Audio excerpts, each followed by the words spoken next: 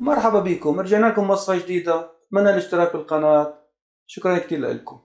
يلا على الوصفة دقيق متعدد الاستخدام 3 كوب 400 جرام.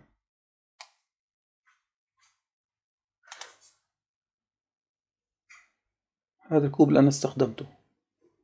حليب سوائل حليب قليل دسم أو ماء أو ماء وحليب حسب المتوفر. حرارة الغرفة. بيضة واحدة. حرارة الغرفة. سكر ربع كوب ستين جرام تقريبا. خميرة ملعقة طعام عشرة جرام. ملح نص معلقة صغيرة أربعة جرام. زبدة بحرارة الغرفة معلقتين طعام أربعين جرام. تعجن المكونات جيد تقريبا خمس دقائق أخذت احتاجنا دقيق معلقة ضفت معلقة دقيق. حسب نوع الدقيق. ممكن نحتاج معلقة سوائل أو معلقة دقيق حسب نوع الدقيق. هذا سهل. تعجن خمس دقائق حتى لا تلزق بالإيد. تكون هيك جاهزة.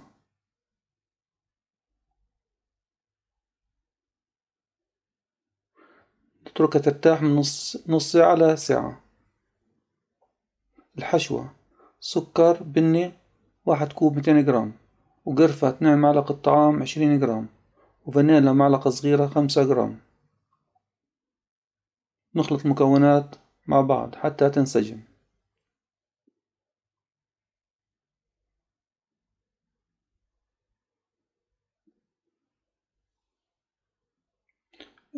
الصينية بندهن الصينية بالزبدة. ونستخدم نفس الحشوة اللي عملناها توي بنستخدم اللي هو خلطة القرفة والسكر الصينية. نستخدم جزء منها الصينية.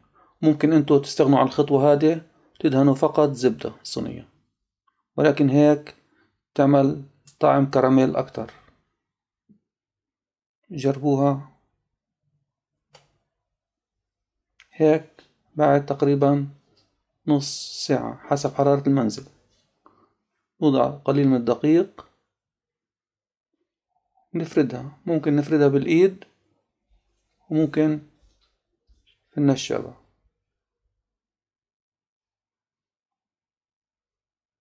هي عجينة كتير حلوة. الوصفة الأصلية.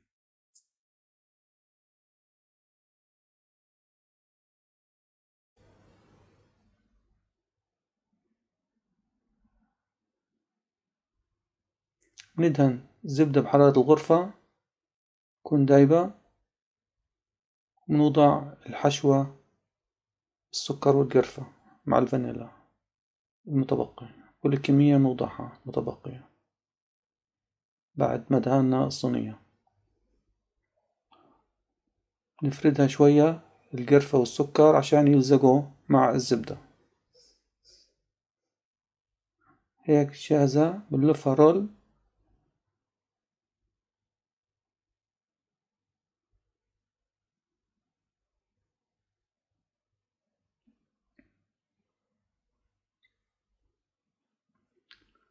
بنعملها اثناعش قطعة. نقسمها نصين. نقسمها كمان مرة نصين. نصين تصير أربع قطع. كل قطعة بنعملها ثلاث قطع عشان أسهل لإلكم هيك بكون مجموع 12 قطعة. لو طلعت كبيرة شوية صغيرة شوية ما بأثر.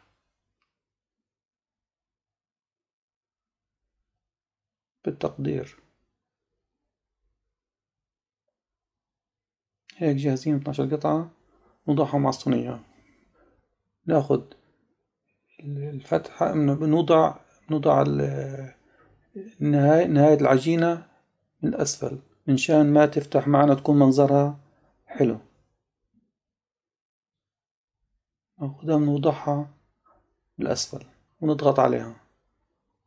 نضغطها جيد ما تخافوا. مشان يطلع منظرها حلو.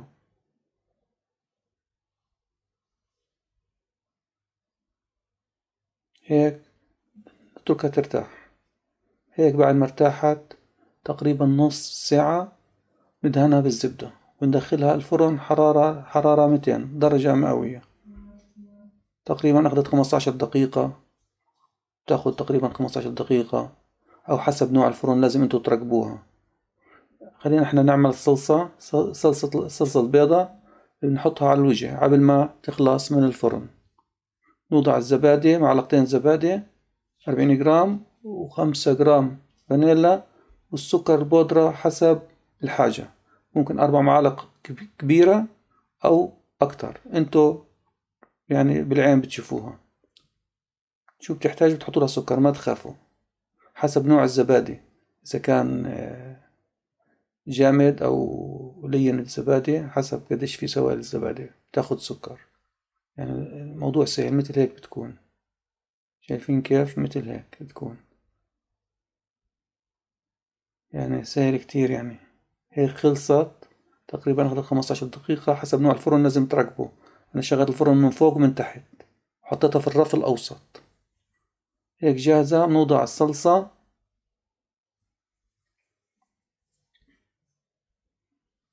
وأتمنى إنه أنتوا تجربوها.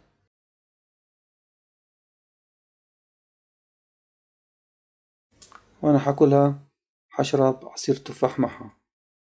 حجربها وأقولكم شو رأيي بصراحة. أول مرة أنا أجرب قدام الكاميرا.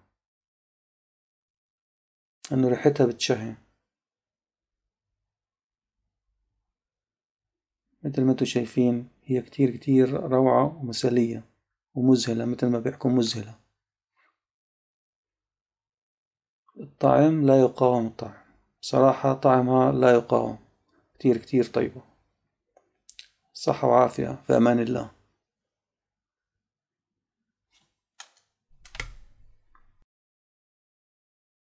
انتظرونا بقصة جديدة. من الاشتراك بالقناة؟ إذا عجبكم الفيديو تعملوا لايك مع السلامة.